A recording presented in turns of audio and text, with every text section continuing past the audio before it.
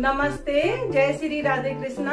आप सभी का मेरे चैनल में एक बार फिर से स्वागत है।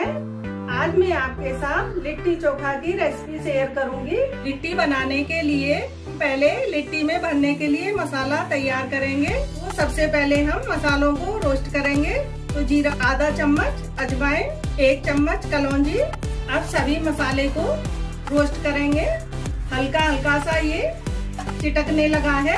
अब गैस का फ्लेम बंद करेंगे और मसाले को पीसेंगे। तो हमारा मसाला पिस गया है। मसाला इस तरह का होना चाहिए। ज़्यादा मोटा भी नहीं, ज़्यादा बारीक भी नहीं। तो मसाला हम बॉल में डालते हैं। एक कटोरी भुने हुए चने का आटा लिया है।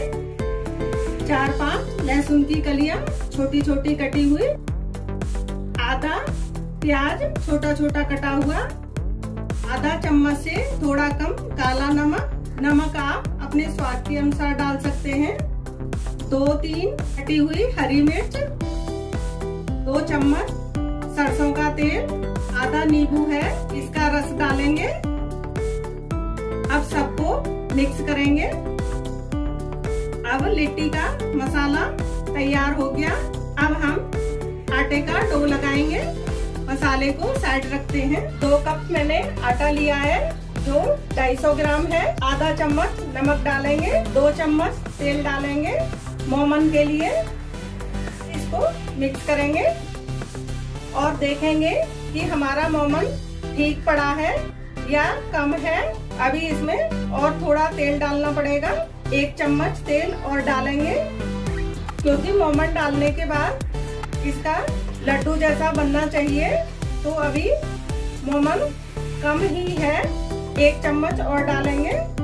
सबको मिक्स करेंगे। अब ये मिक्स हो गया। अब इसको पानी से भूनेंगे। पानी थोड़ा थोड़ा ही डालेंगे और इसका सॉफ्ट डो लगाएँगे।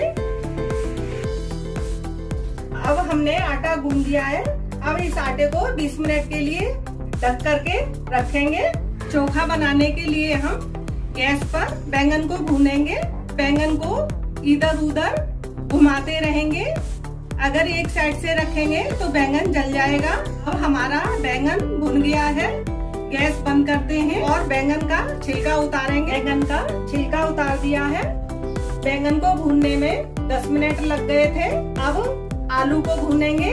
आलू भूनने में 15 मिनट लग जाएँगे। तो हम आलू को ढक देते हैं, आलू भुन चुके हैं और इनके छिलके निकालेंगे। जब तक छिलके निकालते हैं, तब तक हम इसको भूनने के लिए रखेंगे। टमाटर को प्लेट से ढक देंगे। आलू, बैंगन, टमाटर, इनके अब छिलके उतार दिए हैं। अब इनको मैश करेंगे।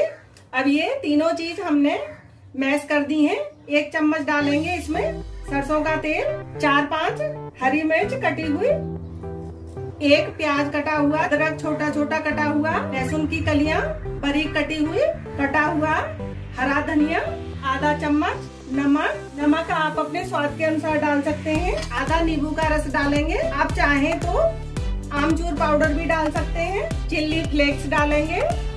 सबको मिक्स करेंगे। अब हमारा चोखा तैयार हो गया है और लिट्टी बनाते हैं। अब इसकी छोटी छोटी लोई तोड़ेंगे। लोई आप अपने हिसाब से छोटी बड़ी बना सकते हैं। ये मैंने नींबू के बराबर की लोई तोड़ी है। इसको इस तरह से हाथ पर रखेंगे और उंगली और अंगूठे से इसको बड़ा करेंगे।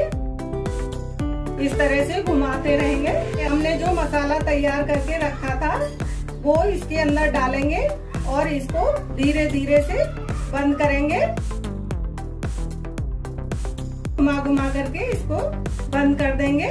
इस तरह से हम सारी लिट्टी बनाएँगे। अब हमारी सारी लिट्टी मसाला भर करके तैयार है और तेल भी गर्म हो गया है। अब तेल में एक एक करके हम छोड़ेंगे। तेल में ये पूरी डूब जानी चाहिए और इनको धीमी गैस पर ही सेकेंगे। नहीं तो कच्ची रह जाएँगी। थोड़ा हिलाएँगे।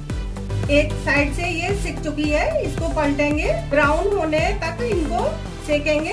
एक बार के बैच को 10-12 मिनट लग जाते हैं। ये लिट्टी को हम अलट पलट करके चारों तरफ़ से सेक लेंगे। अब हमारी लिट्टी सिक चुकी है, इनको हम तेल में से बाहर निकालेंगे। और इनको हम टिश्यू पेपर पर रख लेंगे।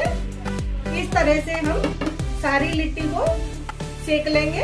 अब हमारी लिट्टी चोखा गर्मा गर्म बन करके तैयार है। आपको मेरा बनाने का तरीका अच्छा लगा हो तो आप एक बार ज़रूर ट्राई करें। धन्यवाद। राधे राधे